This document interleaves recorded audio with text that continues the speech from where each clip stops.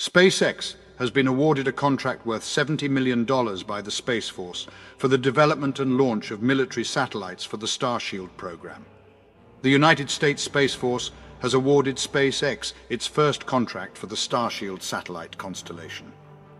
According to a statement given to CNBC by a spokesperson for Space Force, a contractual agreement worth $70 million has been confirmed for a period of one year.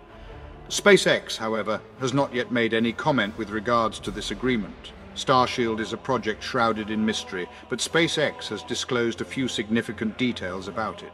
For instance, the project will utilize the same type of broadband technology featured in the company's Starlink satellite cluster, albeit tailored to suit government purposes, specifically the US military and its affiliated agencies. Furthermore, SpaceX has established an official website for the project. According to the website, Starshield utilizes both SpaceX's Starlink technology and launch capability to contribute to national security initiatives. The project, as reported by the same source, will serve three primary purposes. Observation of Earth, communication and hosting missions with the most demanding of payloads. This third objective allows for a diverse range of missions and instruments to be used. SpaceX notes that the Starshield satellites are highly versatile as they are capable of accommodating a vast array of payloads, offering users unparalleled flexibility.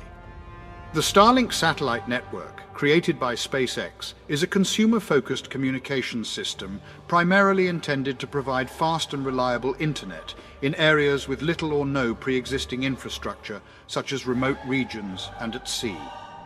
Despite this intended use, the Ukrainian government and military have heavily relied on Starlink during Russia's ongoing invasion of Ukraine.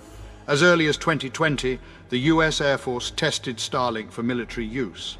During a massive live fire exercise, the Air Force utilized the satellites to connect military resources dispersed throughout the United States in order to assist in the destruction of a drone and a cruise missile. Then US Air Force Acquisition Chief William Roper expressed his satisfaction with SpaceX's cooperation, stating SpaceX has been an excellent industry partner for us. Their enthusiasm is shared, and we eagerly await further insight into their satellites during the demonstration.